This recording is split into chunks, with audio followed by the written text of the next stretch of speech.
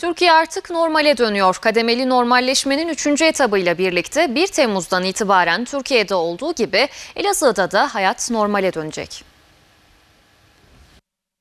Koronavirüs tablosunda durumun iyiye gitmesi ve aşılamanın günden güne artmasıyla pandemi kısıtlamaları 1 Temmuz'dan itibaren sona erecek. Kademeli normalleşmenin 3. etabıyla birlikte Türkiye'de olduğu gibi Elazığ'da da hayat normale dönecek. 11 Mart 2020 tarihinde resmi olarak ülkemizde başlayan koronavirüs pandemisinin ardından devlet tarafından pandemi tedbirleri uygulanmış, sosyal kısıtlamalar sürmüştür.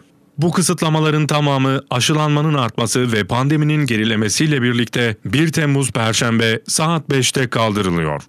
Sokağa çıkma ve şehirler arası kısıtlamalardan yeme içme yerleri, kahvehane, kıraathane, konaklama tesisleri, düğün, toplantı, kongre kısıtlamaları da Perşembe gününden itibaren kaldırılıyor.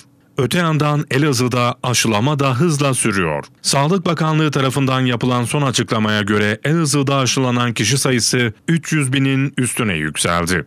Elazığ'da bugüne kadar 307.642 kişi aşılandı. İlimizde birinci doz uygulanan kişi sayısı 204.992 olurken ikinci doz uygulanan kişi sayısı da 102.650 oldu.